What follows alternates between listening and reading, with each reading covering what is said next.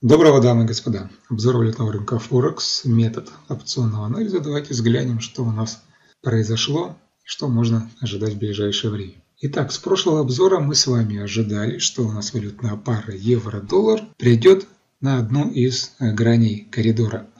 Либо это вот недельный опциончик, вот этот недельный опциончик с экспирацией 1 июля, то есть он истекает 1 июля. Либо же цена может провалиться чуточку дальше и отскочить уже от недавно появившегося опциона с экспирацией 19 июня. И мы видим, что цена довольно-таки хорошо отработалась, отреагировала от этого уровня. Здесь даже нарисовался такой вот э, паттерн, который я использую. Это внутренний бар паттерн. Давайте его поближе рассмотрим. Вот хорошо падающий бар и в пределах этого бара, так сказать, внутренний бар.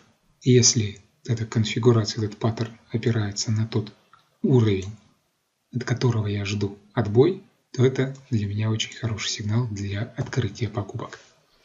И здесь соотношение стоп-лосса к профиту бывает очень замечательно. Например, открываемся сразу же по рынку, стоп-лосс 21 пункт, да, и сейчас вот 110 пунктов. То есть 1 к 5 берется просто замечательно. Что сейчас?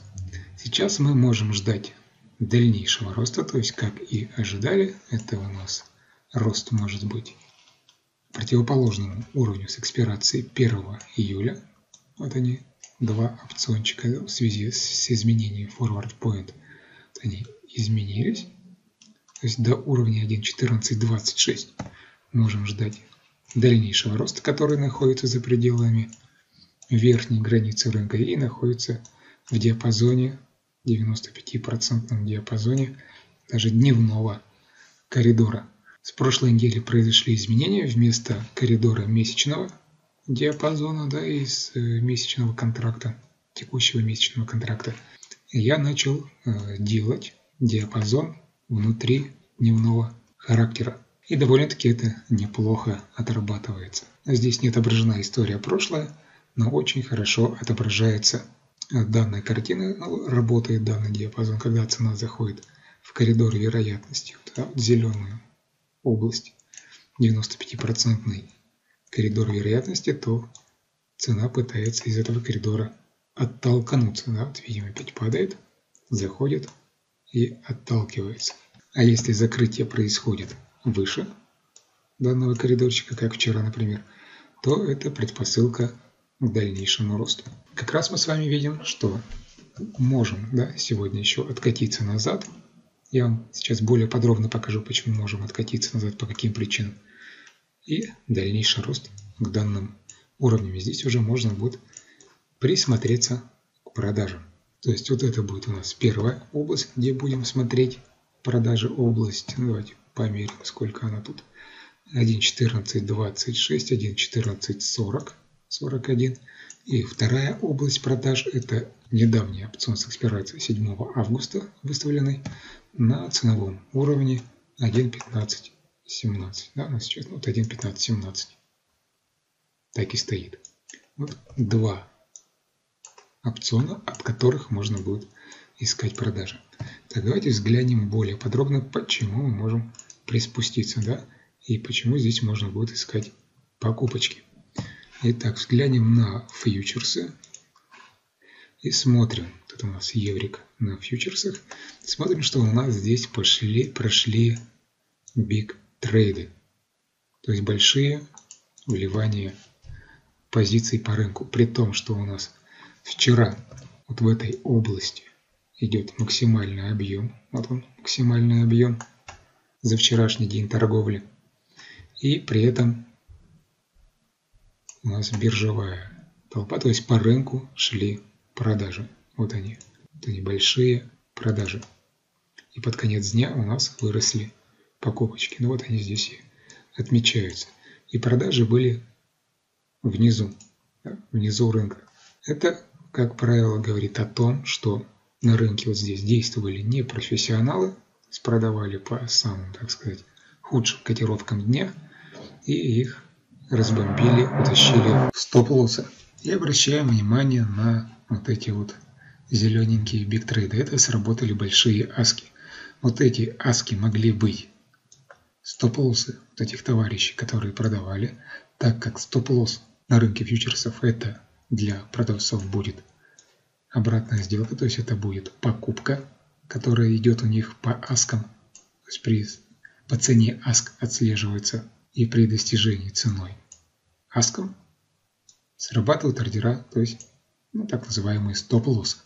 Поэтому здесь отображаются как большие скопления асков. И к тому же после этого цена у нас не идет вверх, она притормаживает, да, уходит вниз. Поэтому это, вероятно, сработали стоп-лоссы вот этой группы трейдеров, кто здесь продавал. Но вот эти аски, вот эти аски, после них цена идет вверх. Поэтому здесь могли быть с большей уже долей вероятности именно покупки. И для того, чтобы отстопилось этих товарищей, если, допустим, какие-то крупные игроки не набрали ликвидности, вчера не успели набрать ликвидности да, на, на участке и хотят идти дальше вверх, то вполне может быть сценарий, что вот этих товарищей нужно отстоп-лоссить, то есть уйти за их пределы. А где у них будет стоп-лосс? Вероятно, стоп-лосс у них будет где-то за пределами. Либо вот здесь, либо здесь, да, либо тут. Ну, как правило, это 30 пунктов. 30 пунктов. Вот здесь вот укладываемся в 40 пунктов. Да? То есть вот те, кто покупал, уже могут перетащить стоп-лосс либо, допустим, сюда, да, по текущему рынку, либо закрыться в безубытке здесь. Вот эти товарищи точно так же могут уже либо закрыться в безубытке, либо держать свой стоп-лосс куда-то вот сюда подтянули. Если померяем расстояние, вот они 25, вот 30 пунктов.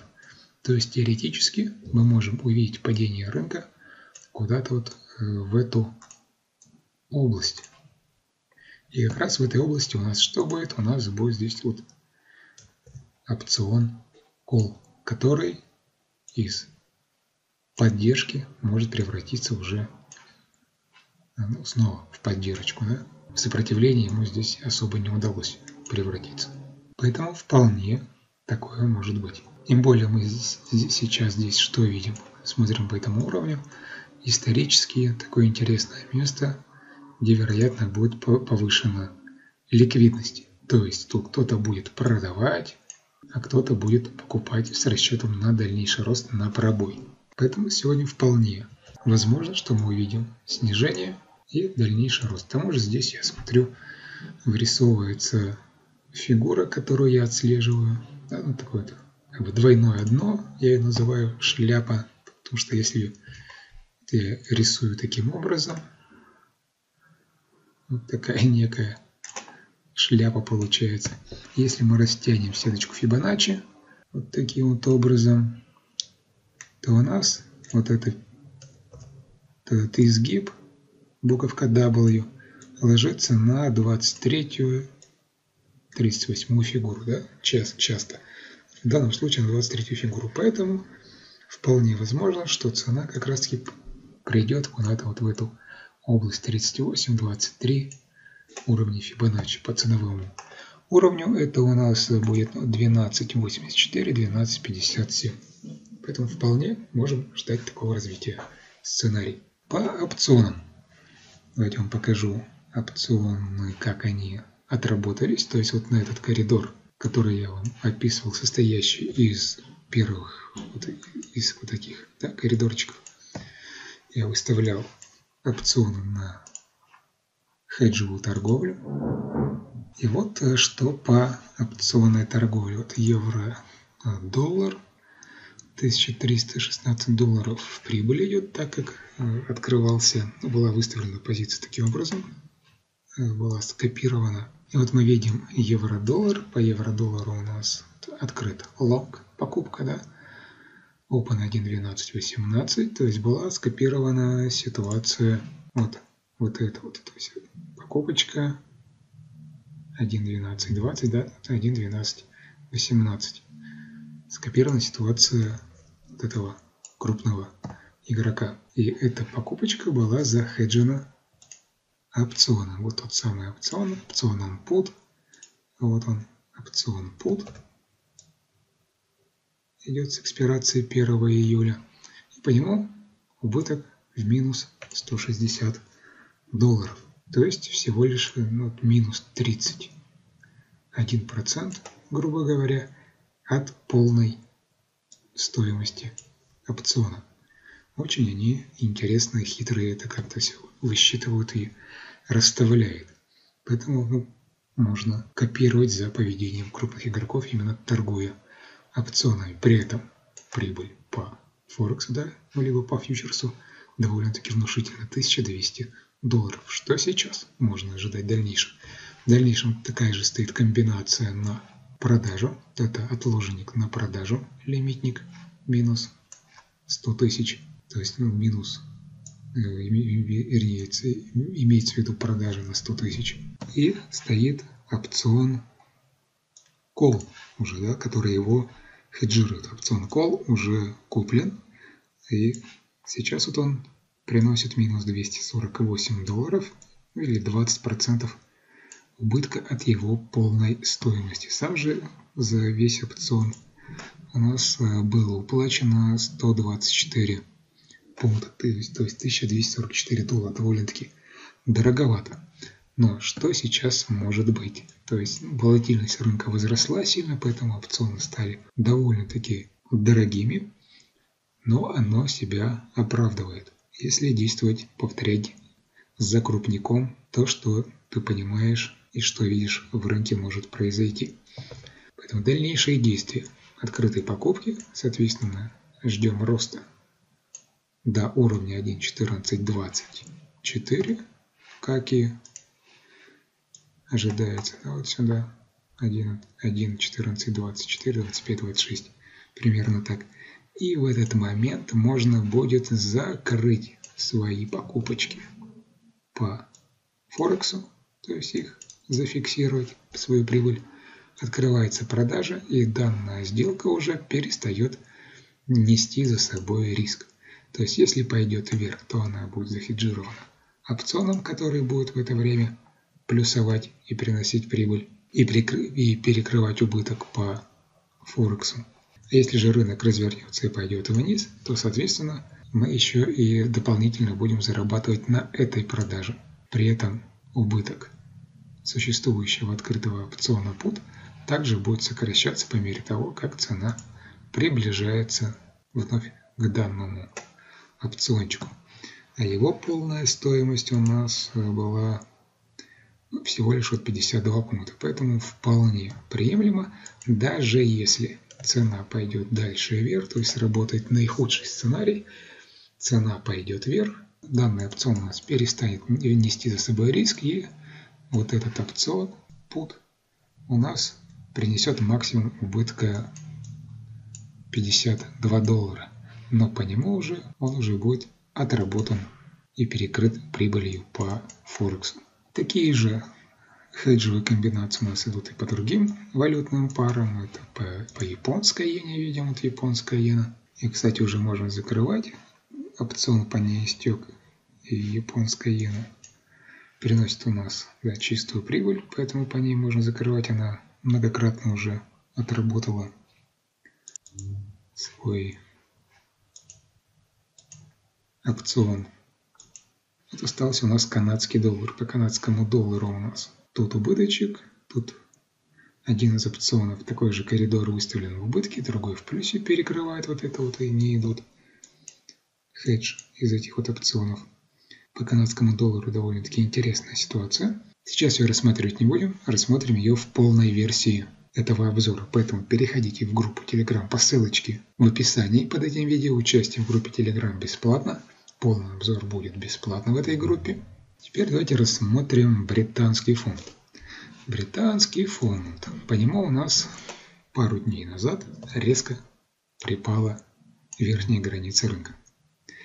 При этом нижняя граница рынка оставалась на месте, и данная ситуация у нас создавала модель того, что на рынок оказывается давление. То есть вот такой день мы видели, да, И эта модель была того, что на рынок оказывается давление и цена может пойти вниз. Видим, что у нас цена немного приспустилась, но пошла вверх. Вероятно, цена еще может уйти за пределы верхней границы рынка, может быть даже успеет дойти до опционы с экспирацией 22 июня, ну, хотя это уже не факт, и затем пойти дальше вниз. Почему может не пойти дальше вверх? Потому что вот 10 июня у нас были предпосылки того, что на рынок зашел крупный игрок. Были очень хорошие предпосылки, если взглянуть это на фьючерсах. Если взглянуть на фьючерсах, то 10 июня были вот в этот день совпадающие прям по всем четырем признакам, которые для себя выявил, это присутствие здесь крупного игрока, который вливает деньги именно на продажу. Поэтому выше вот этого уровня, примерно где-то здесь, да, ну, цена не должна пойти. И сейчас вот данная конфигурация, эта конфигурация, то, что прям формируется на данный момент, э, очень хорошо нам показывает, что возможно уже прямо сейчас начнется дальнейшее нисходящее движение. И пока вот записывал обзорчик, ставил паузу, открыл себе дополнительную продажу на этой конфигурации. Тем более мы тут находимся возле верхней границы рынка. Коридор 68.95 тоже очень хорошее место для поиска продаж. То есть многие факторы совпадают. Вот сделочка была открыта чуть выше точки входа и пошло, как видим сейчас, вниз. Куда ждать профита? Профит, как мы видим, можно ждать до нижней границы рынка. Она сейчас находится на 1.2244. До нижней границы рынка, либо за ее пределами. Здесь уже можно будет смотреть, ждать опять появления, возникновения крупных игроков и высматривать позиции на покупку. Ну, посмотрим. Обычно, когда появляется крупный игрок, то здесь как здесь, я выставляю продажи и беру профит 1 к 5. Здесь точно так же можно выставлять таких да, попутчиков, доливочки. Можно выставлять профит 1 к 5, тем более он у нас здесь позволяет. С таким вот небольшим стоп-лоссиком позволяет 1 к 5 спокойно взять даже в пределах диапазона текущего дня. Поэтому на сегодня и на ближайшие дни, на ближайшее время Смотрим продажи после каких-то коррекций. Далее австралийский доллар. По австралийскому доллару у нас цена также подходит к верхней границе рынка. Также у нас э, вырисовывался продавец по австралийскому доллару 10 июня под э, новости ФРС. Он тут пытался замаскироваться, и цена уходила вниз. Также уже отрабатывала 1,5. Сегодня, если взглянуть на фьючерсы по австралийцу, то что мы давайте посмотрим, что мы можем видеть. Ну, какой-то прямо четкой картины для себя не вижу, поэтому пока австралийца оставлю, пожалуй, в покое. На сегодняшний день какой-то четкой картины не вижу, если только цена у нас будет торговаться возле верхней границы рынка, либо зайдет этот зелененький коридор. Хотя ей, возможно, будет сложновато туда зайти, если крупный игрок еще не вышел из своих продаж, он будет защищать свои позиции, которые примерно как раз таки находятся э, на уровне верхней границы рынка. Поэтому при подходе к верхней границе рынка поближе да, можно искать продажи. Хотя здесь уже и возникал мой любимый паттерн с утра. Я его тут проглядел, да, вот он, так называемый внутренний бар. Давайте масштаб сделаю помельче. Вот он внутренний большой резкий импульс вверх и затем внутренний бар. Всегда такие вот резкие импульсы возле каких-то границ, да, не сами по себе на пустом месте, а возле, допустим, важных каких-то уровней, так называемых поддержек сопротивления, возле а, границ рынка, возле опционных уровней. Такие вот резкие импульсы являются предвестниками того, что рынок может развернуться. Вот как здесь и сейчас получается. Ну ничего, есть возможность, есть диапазон, куда падать австралийцу очень даже хорошо на 0,5 фигуру. Канадский доллар. По канадскому доллару также у нас был крупный игрок 10 июня. Вот они заливались скопом маскируясь под новости ФРС. И что интересно, вот здесь уровень второго-третьего порядка, а, на который я выставлял продажи. То есть я ожидал, что цена у нас не пойдет особо далеко. А вот этим уровнем будет ограничено до конца месяца. То есть такой сдерживающий уровень. Что цена до него дойдет, я здесь открыл хеджевую позицию и цена пойдет вниз. Но видим, что сейчас из этого уровня превращают его в поддержку. Превращают его в поддержку. Цена может пойти дальше. И подкладывают путы, такие поджопнички путы, того, что цена может все-таки пойти дальше вверх. Как здесь сейчас с точки зрения хеджевой опционной торговли можно себя повести? Давайте рассмотрим эту ситуацию. Вот она по канадскому доллару. Вот открытая позиция на 100 тысяч. А, 100 тысяч это, это открытая покупка, вернее стоит отложник. А открыта продажа. Тут она стоит продажа на 100 тысяч по тому самому уровню, да, 1.3542, вот чуть ниже. Она полностью повторяет 1.35, 42 вот. Продажа была открыта 11 июня. И стоит, вернее он был да, застрахован опционом кол, стоит опцион кол. Сейчас данный опцион находится в прибыли. Плюс видим 520 долларов.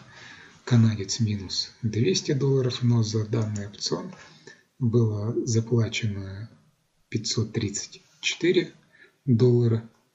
Таким образом, сейчас чистая прибыль и составляет примерно вот 200 долларов минус 500, то есть 300 долларов прибыли. Довольно-таки неплохо за ошибочную версию. Почему неплохо? Потому что э, если я сейчас закрою данный опцион, вот этот, да, то я получу вот 1057 долларов. Из них вычитаем 534 доллара, которые я заплатил, и вот он остаток, да, 513 долларов чистой прибыли. Из них вычитаем Форекс минус 184 доллара, и я остаюсь еще в прибыли, ну, 300 долларов с небольшим чистой прибыли. Это при том, что дельта опциона не равна единице, она равна 0,6. Да? Ну, вот здесь вот 60 по-другому немного отображается 60.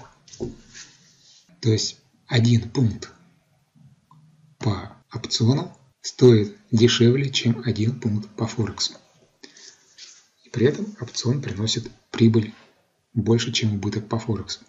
Должно быть наоборот. Сейчас в текущей ситуации, в стандартном э, положении, в стандартном решении этого вопроса должно было быть наоборот. То есть опцион должен был частично лишь перекрывать убыток по Форексу.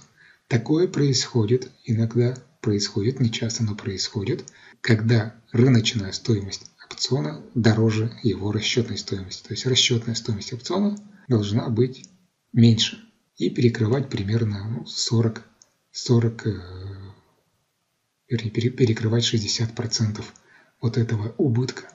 То есть в итоге должно было быть примерно ну, где-то по итогу, да, где-то минус 80 долларов, да, общий итог, суммарный итог был бы здесь в стандартном э, положении вещей должен был быть где-то минус 80 долларов и стать равным нулю, если бы цена пошла дальше вверх, когда только произойдет экспирация, то есть 2 июля. Но сейчас рыночная стоимость опциона, как видим, дороже, чем его расчетная стоимость.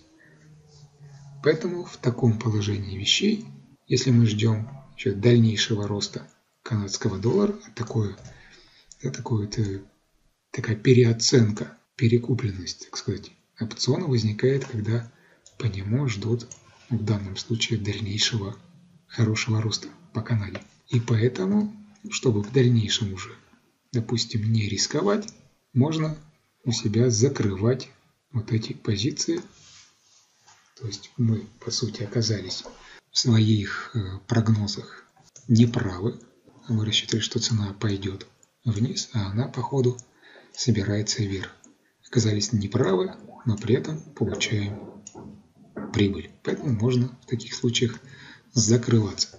Но интересуют меня вот эти вот опциончики, вот эти поджопнички, которые, в принципе, вот, вот этот, конкретно вот этот опцион с экспирацией да, в текущем контракте, опцион второго уровня, он не забегает в интересы, не ложится в интересы крупных игроков, которые здесь покупали. И поэтому теоретически цена может приспуститься вниз.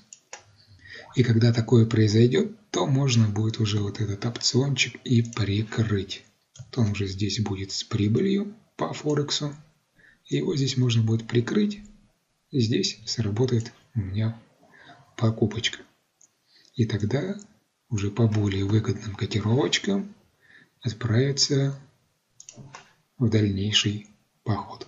И этот опцион, вот эта покупка на 100 тысяч, также будет захеджирована вот опционом PUT, который, который ну, 91 пункт. А обошелся мне в 913 канадских долларов, то есть 682 доллара американских. Выходит 68 пунктов. Не так дорого. Хотя здесь, да, вот это еще нижний опцион, это не тут. Надо будет его передвинуть на 33.75. Этот опцион у меня стоит 32.59 стоит. 32.59. Поэтому надо будет подправить сюда пониже. Хорошо, идем дальше. То есть по канадскому доллару пока что ждем дальнейшего роста. Но верхняя граница рынка убежала уж очень далеко, поэтому на нее пока вида не имеем. Пока ближайшие виды это вот опцион с экспирацией 7 августа. Швейцарский франк. По франку что у нас? Цена ушла за пределы нижней границы рынка, упала в зону опционов под. По франку из опционов у нас здесь уже срабатывали опционы, были э, нормально отработаны. По-моему, в прошлом выпуске я это записывал, сейчас уже не припомню много информации, но точно по вроде как отрабатывал вот эту область по опционам скопления, и она уходила в профиль, да, здесь закрывался. Что сейчас? Сейчас можно ждать, вот по франку, я не помню, у нас были или не были, давайте взглянем, крупные игроки, вливались они в рынок или нет. Скорее всего, на текущем контракте их не было а может быть и были. Ну, не очень, не очень внятно, но похоже, что были, но возможно, что и вот в этом месте. Возможно, вот в этих местах крупнички доливались, вливались, но как-то не очень красиво, не очень внятно, на мой взгляд, поэтому возможно, что мы еще можем вернуться по фьючерсу обратно вверх, соответственно, по Форексу обратно вниз к этим уровням. То есть, возможно, ликвидности не хватило э, и вернуться, да набирать, да набирать ликвидность, тем более здесь опционы стоят с далекой экспирацией 6, и 6 ноября, 9 октября, поэтому времени с запасом еще хватает. Здесь опцион у нас стоит с 4 сентября с экспирацией в сентябре, в августе. С того же времени еще есть, чтобы набрать себе здесь ликвидность и затем стрельнуть вверх. Возможен такой сценарий. Поэтому сейчас пока что ждем. Если цена припадает вот в эти уровни, тем более заходит в область 95%, то тогда можно искать покупочки. Японская иена, по ней не совсем понятно, она как-то сама по себе живет своей какой-то отдельной жизнью. Э, возможно, что сегодня, вернее вчера появлялись крупные игроки на покупочку, но они опять были какие-то невнятные и где-то они открывались, на мой взгляд, не пойми где, не вот здесь, да, 11-12 июня 10 а где-то где вот уже здесь. Поэтому, возможно, это и не, не покупки, а выход, да, разгрузка, выход из продаж произошла вчера. Давайте взглянем на японца. У нас японец. На мой взгляд, здесь не очень все явно. Поэтому, если работать интрадей, если открывать позиции, да, нет, нет, пока что здесь не очень-то вот круг, допустим, да, вот э, максимальный объем, вот они идут максимальные объемы, практически бьют копейка в копейку друг с другом, и не особо понятно куда. То есть, если это был бы крупный игрок, именно нацеленный куда-то, например, ну, сегодня на продажу, можно было подумать, что он нацеленный, да, то есть так, на продажу, то цена бы уже вряд ли к этому уровню возвращалась. Бывает, что возвращается, отбивается, то есть сейчас можно проследить вот за этим уровнем, за этим уровнем, если цена от него будет уходить вниз, тогда можно будет поискать продажи, да, сформируется какой-нибудь паттерн разворотный, тогда можно и посмотреть продажи по фьючерсу, по Форекс это будет, соответственно, у нас покупочки, это примерно, да, вот этот уровень у нас вот так вот пойдет. Если здесь что-нибудь у вас будет формироваться на рост, то в принципе можно присмотреться к покупкам. Либо же перестраховаться, и мы видим у нас появляется, смотрите, интересный опцион с экспирацией 19 июня, то есть он экспирируется на этой неделе.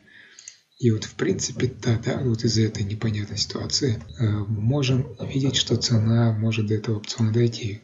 Здесь как бы у нас поддержка, явная такая поддержка, да, которая бьет, кстати, копейка в копейку бьет этот уровень.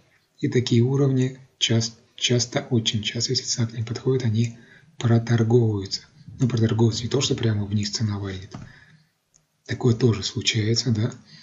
Он может проторговаться с той вероятностью, что как раз это будет э, захват ликвидности, то есть здесь, на вот этом уровне из-за из этого участка э, будет возрастающая, будет высокая ликвидность. Кто-то будет продавать, кто-то будет покупать. И на этом крупные игроки могут как раз таки на этом участке высокой ликвидности поднабрать себе позиций. И вот этот опцион, скорее всего, на эту историю и рассчитан, что произойдет ложный пробой данного уровня. Происходит ложный пробой данного уровня. И вот здесь открывается набираются позиции на покупку. Поэтому ждем, что может цена припасть сюда. Я буду ждать именно этого сценария и, возможно, даже ее открою сейчас на опционах. Ну и с профитом за пределами верхней границы рынка на опцион с экспирацией 26 июня. То есть в пределах текущего опционного месяца мы можем увидеть вот такой сценарий. А на этом все. Всем успехов. Подписывайтесь в группу Telegram, где по появлению интересных опционных уровней я выкладываю аналитические материалы. Там же вы сможете подписаться на ежедневное обновление таких вот шаблонов на индикатор опционных уровней. Ссылочки внизу в описании под этим видео. Всем успехов, попутного тренда. Пока.